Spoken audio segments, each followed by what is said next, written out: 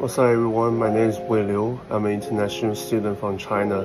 Today is the Buckeye football game day. Let's go Bucks! This is my first ever football game. There's the famous rotunda. At first I was a little overwhelmed because there's so many gates and people in the stadium.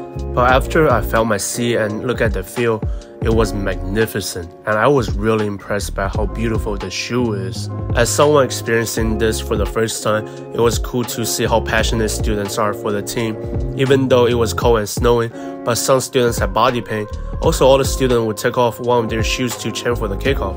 I didn't expect that at all. The highlight of the day was the marching band's Rolling Stone halftime show. That was super awesome. I also loved seeing Carmen, Ohio with everyone before and after the game. We won! What a great game. Go Bucks!